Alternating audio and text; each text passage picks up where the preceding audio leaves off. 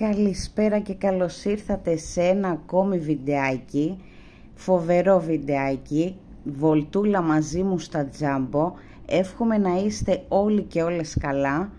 Λοιπόν παιδιά, σας παίρνω μαζί μου ε, και καλά έκανα που τράβηξα πλάνα γιατί θα δείτε καινούργια πράγματα τα οποία δεν είχα δει ούτε κι εγώ.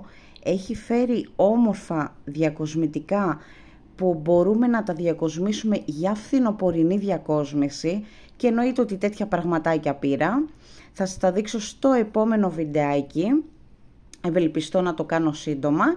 Λοιπόν, ε, έχει μοναδικά κομμάτια, απολαύστε το βίντεο, δείτε τι καινούριο έχει φέρει. Όπου έβλεπα καινούριο κομμάτι και έπεφτε το μάτι μου πάνω σας το τραβούσα.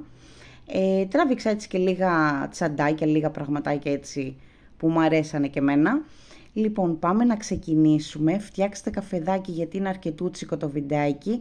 Φιλάκια πολλά μέχρι το επόμενο. Να περνάτε υπέροχα.